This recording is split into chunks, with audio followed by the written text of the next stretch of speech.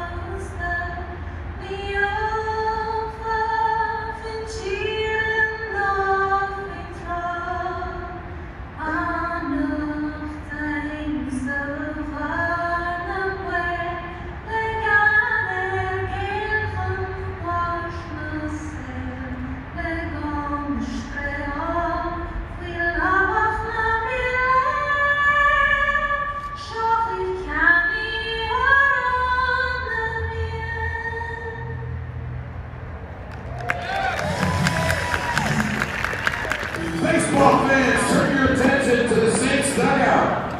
For Irish night, the Saints welcome their own river dancers, taught by one of the original cast members, Corbin O'Shea, direct out